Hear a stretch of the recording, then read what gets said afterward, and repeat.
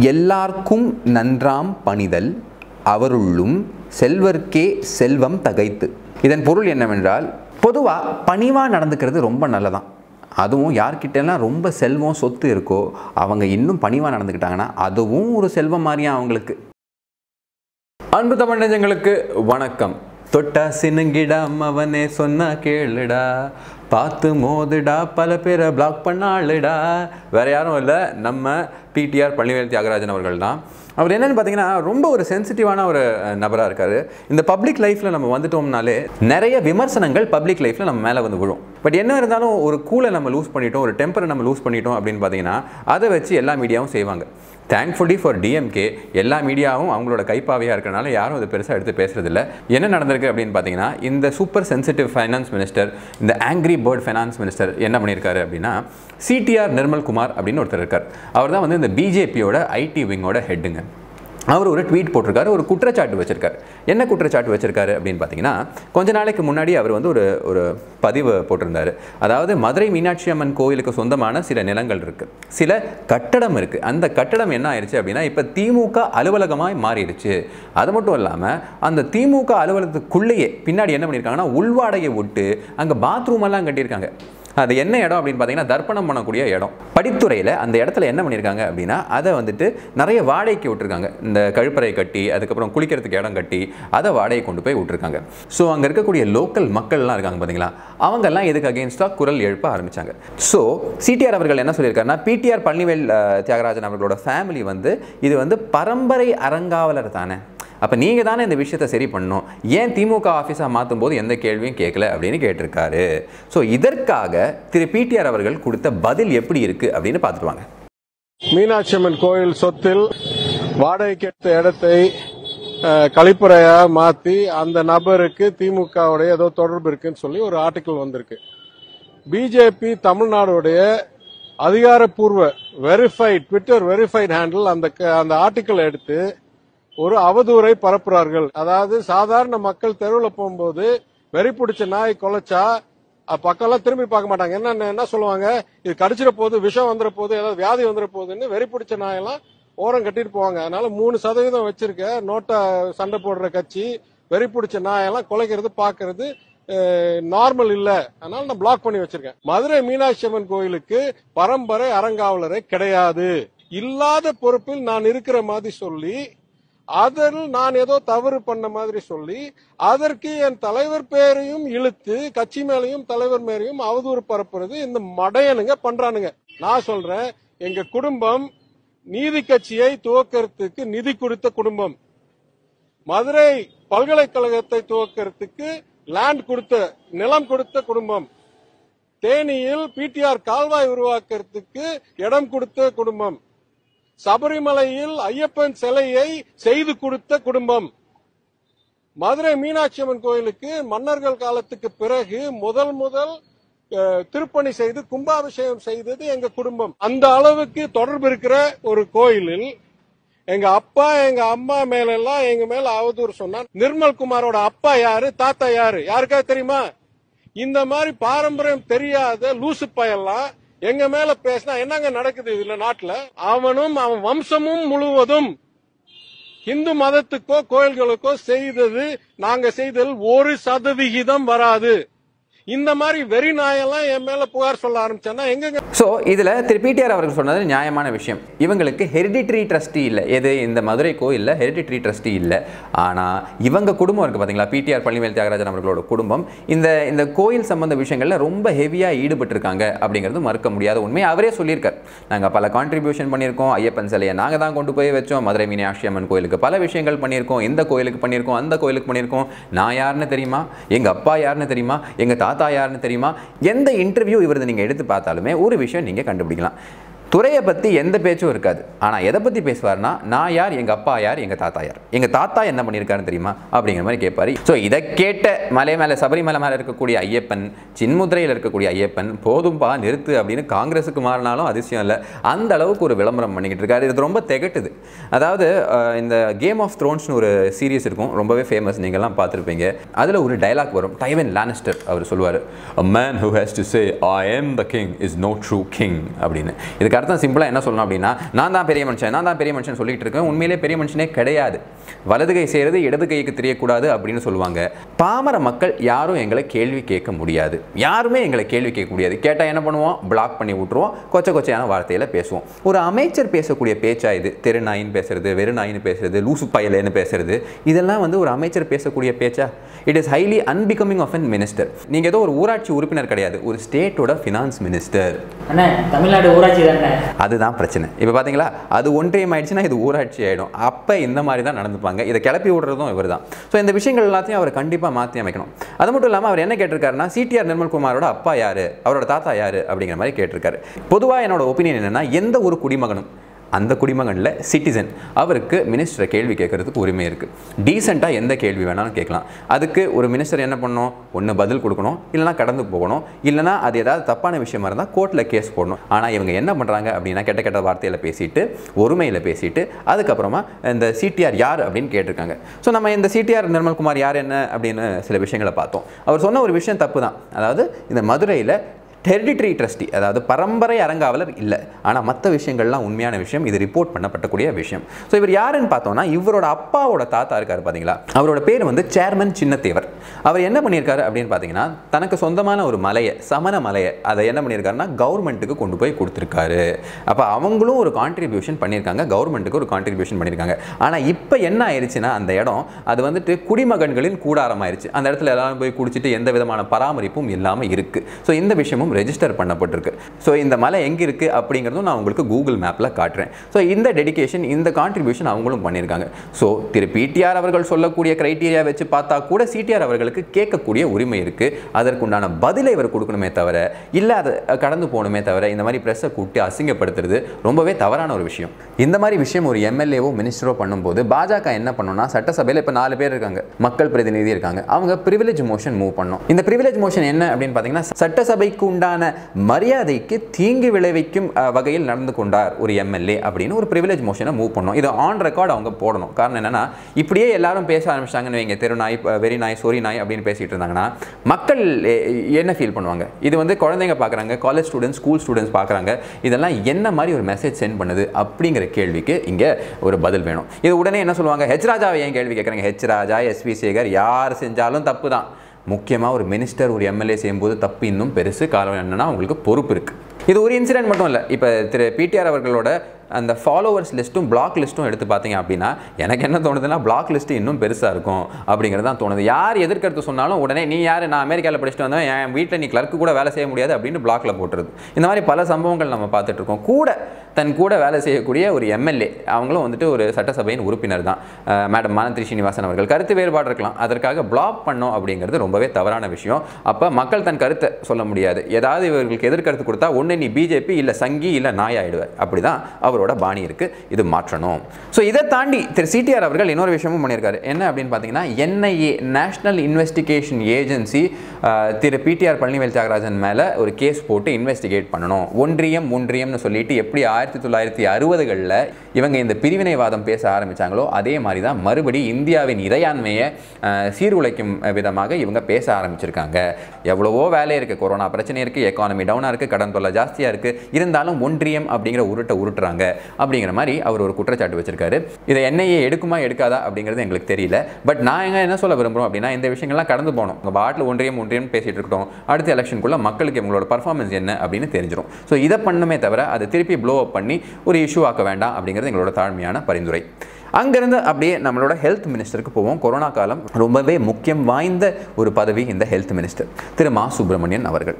அவர் என்ன சொல்கிறாரு அப்படின்னா ஒரு வேடிக்கையான விஷயத்த சொல்கிறாரு இந்த நீட் எக்ஸாம் இருக்குல்லங்க அந்த நீட் எக்ஸாமை பாஜக நண்பர்கள் நினச்சா மத்திய அரசிட்ட பேசிட்டு அவங்க கேன்சல் பண்ணால் நல்லது தானே அப்படிங்கிற மாதிரி சொல்கிறாரு அவங்க ஏன் கேன்சல் பண்ணுவாங்க? காங்கிரஸோட பொசிஷன் என்னவாக இருந்துச்சு? கார்த்திக் சிதம்பரம் அவர்களோட பொசிஷன் என்ன இருந்துச்சு? நளினி சிதம்பரம் அவர்கள் தான் சுப்ரீம் கோர்ட்டுக்கு போய் போராடி இந்த நீட்டு தெரிவி நடத்தே ஆகணும் அப்படின்னு சொல்கிறாங்க இங்கே வந்து ஒரு விலக்கு கொடுக்கப்பட்டுச்சு தமிழ்நாட்டுக்கு. அதுக்கப்புறம் வேறு வழி இல்லாமல் சுப்ரீம் கோர்ட்டோட கைட்லைன்ஸில் நடக்கிறனால நடத்தியே ஆகணும் அப்படின்னு ஒரு முடிவு வந்துச்சு. இப்போ பாஜக காரங்க அதை நடத்தியே ஆகணும் அப்படின்னு தான் சொல்கிறாங்க மற்ற ஸ்டேட்ஸ் எல்லாம் அடியாக இருக்காங்க. உங்கள் தோழமை ஸ்டேட்டாக இருக்கக்கூடிய கேரளாவில் ஒரு சின்ன வாய்ஸ் கூட வரல. ஆனால் இங்கே இதை வச்சு அரசியல் பண்ணணும்னு நீங்கள் நினச்சிட்டு இருக்கீங்க. அதை எதிர்க்கக்கூடிய பாஜக கிட்ட போய் சரணடைகிறீங்களா அப்படிங்கிறது தான் இங்கே இருக்கக்கூடிய முக்கியமான கேள்வி. திரு மா சுப்பிரமணியன் ரொம்பவே நல்ல ஒரு மனிதர். நமக்கு ரொம்ப பிடிக்கும். காரணம் என்னன்னா ஃபிட்னஸ் ஃப்ரீக்கு நம்மள மாதிரியே சிமிலர் இன்ட்ரெஸ்ட் இருக்குது ஆனால் பாருங்கள் அவர் சொல்லக்கூடிய விஷயங்கள் ரொம்பவே முரண்பாடாக இருக்குது என்னென்னா எங்கள் கிட்ட இப்போ தடுப்பூசி இல்லை. முப்பத்தொம்போதில் முப்பத்தி ஆறு டிஸ்ட்ரிக்டில் தடுப்பூசி இல்லை அப்படின்னு அவர் சொல்லிட்டார். இதில் என்ன சொல்கிறாரு அப்படின்னா மொத்தமே ஆயிரத்தி அறுபது தடுப்பூசி தான் பாக்கி இருக்குன்னு காலையில் சொல்கிறாரு நைட்டு என்ன சொல்கிறாரு அப்படின்னு பார்த்தீங்கன்னா நாலாயிரம் தடுப்பூசி தான் பாக்கி இருக்குது அப்படின்னு சொல்கிறாரு ஆனால் நம்ம உண்மை என்ன நினச்சி பார்த்தோம்னா அவங்களோட ஸ்டேட்மெண்ட் ஒரு கோடி ஒரு லட்சம் அறுபத்தி மூணாயிரம் ஊசி சென்ட்ரல் கவர்மெண்ட்லேருந்து கொடுக்கப்பட்டிருக்கு.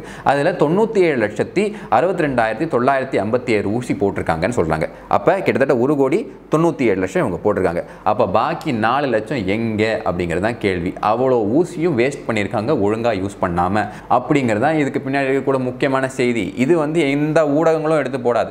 இவ்வளோ தடுப்பூசியை வேஸ்ட் பண்ணியிருக்கே நாலு லட்சம் ஊசி இருந்ததுன்னா எத்தனை பேருக்கு போய் சேர்ந்துருக்கும்? அப்படிங்கிற கேள்வியை யாரும் சொல்ல மாட்டேங்கிறாங்க.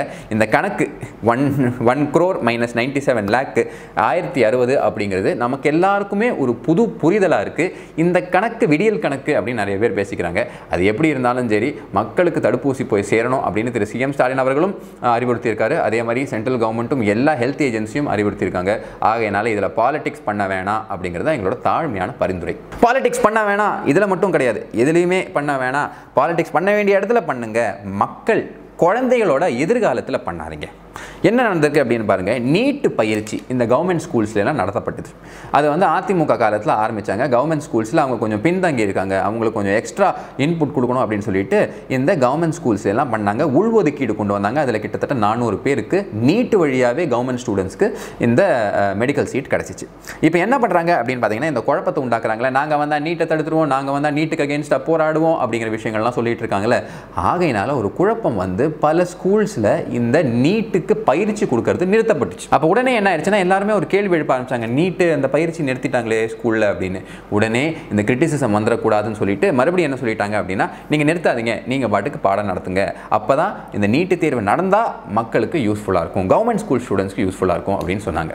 ஸோ திரு அன்பில் மகேஷ் பொய்யாமொழி அவர்கள் என்ன சொல்றாரு அப்படின்னு பார்த்தீங்கன்னா நீட்டு நடத்தினா நாங்கள் அதுக்கு அகேன்ஸ்டாக போராடுவோம்னு. மா சுப்பிரமணியன் அவர்கள் என்ன சொன்னார்? பிஜேபிக்காரங்க இதை தடுக்கணும். அப்படின்னு சொல்கிறார் உங்களால் முடியாது அப்படின்னு தெரியும். இது உங்களோட பவருக்கு மேலே அப்படின்னு தெரியும். இதுக்கு தான் எலெக்ஷன் எலெக்ஷனுக்கு முன்னாடியே நாங்கள் சொன்னோம் இது சாத்தியமே கிடையாது. தயவு செய்து குழந்தைங்களோட வாழ்க்கையில் விளையாடாதீங்க அப்படின்னு. ஸோ அதே மாதிரி தான் இப்போ வந்து நிற்கிது கவர்மெண்ட் ஸ்கூலில் அந்த நீட் கோச்சிங் நடத்தியே ஆகணும். சிம்பிளி மீனிங் நீட் எக்ஸாமை எதுவுமே இவங்களால் பண்ண முடியாது. நான் என்ன சொல்கிறேன் இப்போ திரு சிஎம் ஸ்டாலின் அவர்கள் என்ன சொல்கிறாருன்னா பன்னெண்டு சீஃப் மினிஸ்டர்ஸ்க்கு லெட்டர் போடுறாருங்க. இவர் வந்து சென்ட்ரல் கவர்மெண்ட்டுக்கு வந்து முப்பது நாள் இருபத்தாறு லெட்டர் போட்டார். அது எங்கே இவருக்கு டைம் கிடைக்குதுன்னு நமக்கு தெரியல. பட் அதே மாதிரி அதை தாண்டி பன்னெண்டு சிஎம்க்கு லெட்டர் போடுறாரு. எதுக்கு லெட்டர் போடுறாருன்னா இந்த சிறு மற்றும் குறு தொழில் பண்ணுறவங்கலாம் இந்த லோன் வாங்கியிருப்பாங்க பார்த்தீங்களா அதோட ரீபேமெண்ட்டை கொஞ்சம் தள்ளி வைக்கணும் அப்படின்னு நாம் எல்லாரும் சேர்ந்து வலியுறுத்துவோம் அப்படிங்கிற மாதிரி ஒரு லெட்டர் போட்டிருக்காரு. அதே மாதிரி நீட்டுக்கு லெட்டர் போடுங்க. எத்தனை ஸ்டேட்ஸ் உங்களை ஆதரிக்கிறாங்க அப்படின்னு பார்ப்போம். யாரும் ஆதரிக்க மாட்டாங்க. காரணம் என்னன்னா இந்த மெடிக்கல் சீட்டுக்கு காசு வாங்கி அட்மிஷன் போடுற லாபி ரொம்ப ஜாஸ்தி எங்கே இருக்குது அப்படின்னு பார்த்தீங்கன்னா தமிழ்நாட்டுக்குள்ளே தான் இருக்குது ஆகையினால தான் திருப்பி திருப்பி நம்ம என்ன சொல்லுவோம்னா இந்த நீட்டு தேர்வை இவங்க எதிர்க்கிறது மக்களோ குழந்தைங்களோட எதிர்காலத்துக்கோ காண்டி கிடையாது. அவங்க எதுக்காண்டி பண்ணுறாங்க அப்படின்னு பார்த்தீங்கன்னா அவங்களோட political as well as personal பெனிஃபிட்டுக்கு தான். அப்படின்னா எங்களோட கருத்து பெரும்பாலான மக்களோட கருத்தாக இருக்குது ஸோ இது எல்லாத்துலேயுமே பாலிடிக்ஸ் பண்ணக்கூடிய ஆட்கள் நான் கொஞ்ச நாளைக்கு முன்னாடி சொல்லியிருந்தேன். கோவின் ஒரு ஆப் இருக்குது அந்த ஆப்பில் தமிழ் இல்லை அப்படின்னு சொல்லியிருந்தாங்க. திரு ஸ்டாலின் அவர்கள் இங்கேருந்து லெட்டர் போட்டிருந்தார் பிரைம் மினிஸ்டருக்கு இந்த பாருங்கள் தமிழ் இல்லை அப்படின்னு சொல்லிட்டு நாங்களும் அதை வன்மையாக கண்டிச்சிருந்தோம். உடனே தமிழை கொண்டு வந்துட்டாங்க.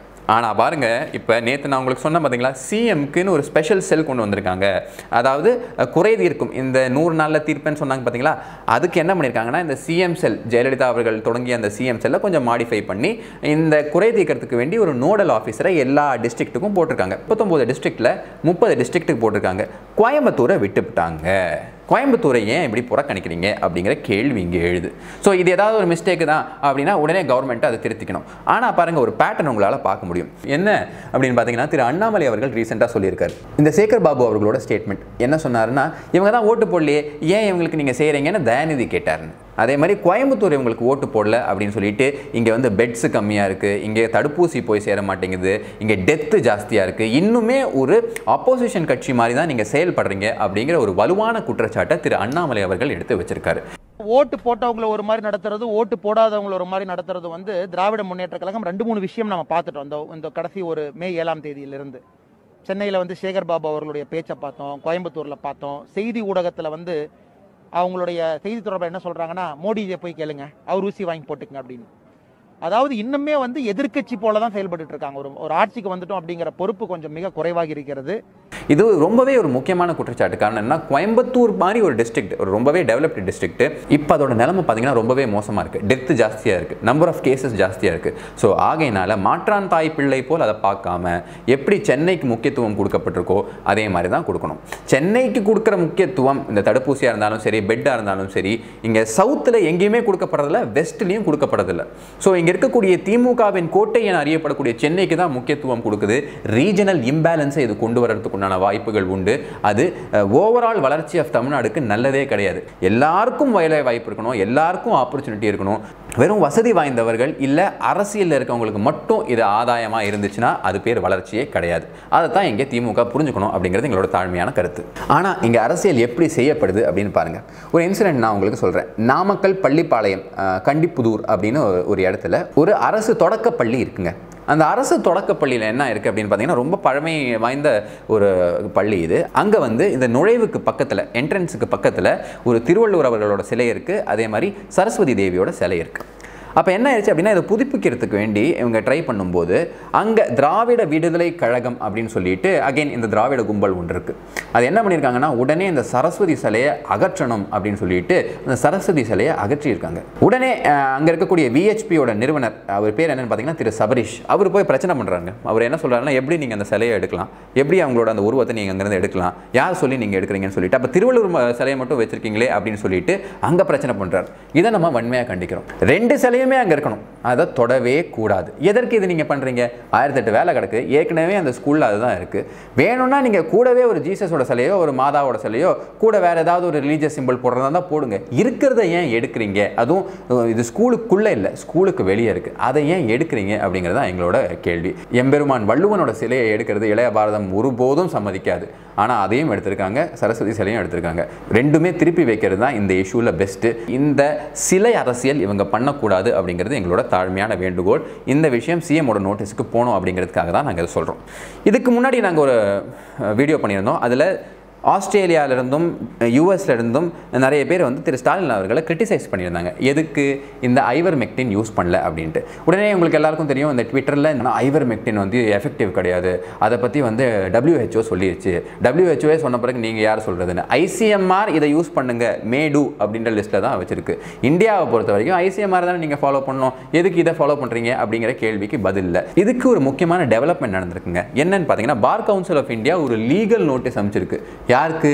டபிள்யூஹெச்ஓ இருக்கு பார்த்தீங்களா உலக சுகாதார மையம். அதோட chief scientist doctor Soumya Swaminathan chief சயின்டிஸ்ட்டுக்கு ஒரு லீகல் நோட்டீஸ் அமைச்சிருக்கு என்னன்னா வேணும்ட்டே நீங்கள் எங்கள் மக்களுக்கு இந்த ஐவர்மெக்டின் யூஸ் பண்ணக்கூடாது அப்படின்னு சொல்லிட்டு ஒரு புரளியை கிளப்பி விடுறீங்க. உங்களுக்கு ஒரு அஜெண்டா இருக்குது அதற்காண்டி இதை பண்ணுறீங்க அப்படின்னு சொல்லிட்டு இவங்க இங்கேருந்து அமைச்சிருக்காங்க ஸோ இந்த ஐவர்மெக்டின் யூஸ் பண்ணாதது ஒரு தவறு அப்படின்னு தான் இன்டர்நேஷ்னல் மீடியாவும் சரி நிறைய டாக்டர்ஸுமே சரி இவங்களுக்கு மேலே குற்றச்சாட்டு வைக்கிறாங்க. அது சரியோ தவறோ அப்படிங்கிறது அறிவார்ந்த மக்கள் நீங்களே முடிவிடுங்க இதெல்லாம் நடந்துட்டு இருக்கும்போது ஒரு விஷயம் நான் ஏற்கனவே உங்களுக்கு சொல்லியிருந்தேன். தனுஜா அப்படின்னு ஒரு அட்வொகேட் ஆனால் இப்போ லேட்டஸ்ட் டெவலப்மெண்ட் என்ன அப்படின்னு பார்த்தீங்கன்னா இவங்க வந்து ஆன்டிசிபேட்டரி பெயில் கேட்டிருக்காங்க. அதாவது முன்ஜாமீன் கேட்டு கோர்ட்டுக்கு போயிருக்காங்க. கோர்ட்டு தர மாட்டேன் அப்படின்னு சொல்லிருச்சு. அதே மாதிரி தமிழ்நாடு போலீஸ் ஆட்கள் என்ன பண்ணியிருக்காங்கன்னா பார் கவுன்சில் ஆஃப் இந்தியாவுக்கு ஒரு பரிந்துரை வச்சிருக்காங்க. தயவு செய்து இவங்க மேலே உரிய நடவடிக்கை எடுங்க அப்படின்னு. அதையும் நாம வரவேற்கிறோம்.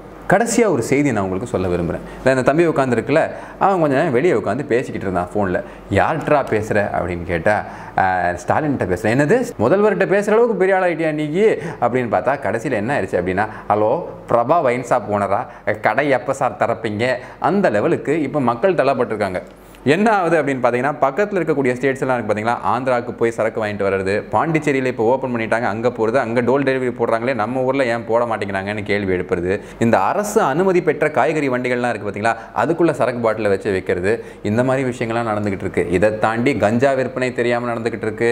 ஹெரோயினை பிடிச்சிருக்காங்க கள்ளச்சாராயத்தை பிடிச்சிருக்காங்க அதுவும் ஸ்கூலில் வச்சு காய்ச்சும் போது பிடிச்சிருக்காங்க. இந்த மாதிரி பல பிரச்சனைகள் நடந்துகிட்டு இருக்கும்போது சில செய்திகள் நமக்கு வந்து சேருது. என்ன செய்திகள் அப்படின்னு பார்த்தீங்கன்னா கவர்மெண்ட் வந்து டாஸ்மாக் ஓப்பன் பண்ண போகிறாங்க அப்படிங்கிற மாதிரி ஒரு பெரிய டிஸ்கஷன் நடத்திட்டு இருக்காங்க. அது மட்டும் கிடையாது பாரையும் ஓப்பன் பண்ண போகிறாங்க கூடிய சீக்கிரம் அப்படிங்கிற மாதிரி சொல்கிறாங்க ஆகையினால கூடிய சீக்கிரம் இவங்க இந்த மதுக்கடைகள்லாம் திறந்துருவாங்க அப்படிங்கிறத நமக்கு தோணுது. காரணம்னா ப்ரெஷர் அந்தளவுக்கு பில்டப் ஆயிடுச்சு இதனால் என்ன ஆகுது அப்படின்னா டொமஸ்டிக் கிரைம்ஸ் ஜாஸ்தி ஆகுது. நிறைய லிக்கர் அடிக்ட் இருக்காங்க பார்த்தீங்களா அவங்களெல்லாம் வீட்டில் இருக்க முடியல. கூடிய சீக்கிரம் அதை ஓப்பன் பண்ணிடுவாங்க அப்படிங்கிறது தான் எங்களோட கணிப்பாக இருக்குது ஆகையினால நம்ம குடிமகன்கள்லாம் okay sorry for the disturbance அப்படின்னு சொல்லக்கூடிய நிலைமைக்கு தள்ளப்பட மாட்டாங்க.